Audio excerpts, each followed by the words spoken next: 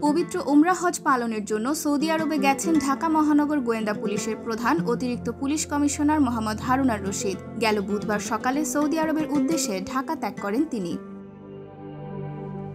Facebook পোস্টে তিনি লিখেছেন, প্রিয় নগরবাসী, আসসালামু আলাইকুম। আজ ষোলো আগস্ট সকালে পবিত্র উমরা হজ পালনের জন্য সৌদি আরবের উদ্দেশ্যে রওনা করেছি। আমি যেন সহি সালামতে উমরা পালন করে আপনাদের মাঝে ফিরে আসতে পারি, সেই দোয়া চাই। সবাই আমার ও আমার পরিবারের জন্য দোয়া করবেন। আমিন। গত বছরের তেরো জুলাই ডিএমপি কমিশনার সই করা এক অফিস আদেশে পুলিশের ডিজিআই হিসেবে পদোন্নতি পাওয়া ঢাকা মহানগর গোয়েন্দা বিভাগের উত্তর ও সাইবার অ্যান্ড স্পেশাল ক্রাইম বিভাগের যুগ্ম পুলিশ কমিশনার মোহাম্মদ হারুনা রশিদকে ডিবি প্রধানের দায়িত্ব দেওয়া হয়।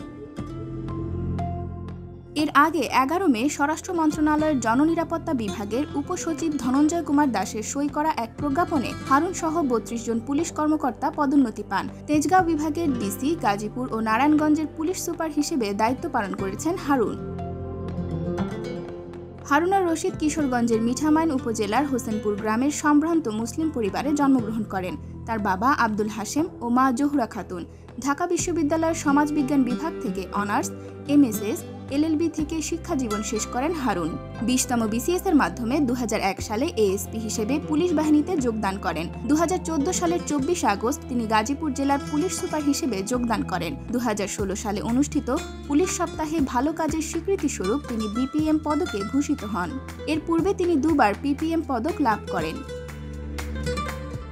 IVTV, USA, New York.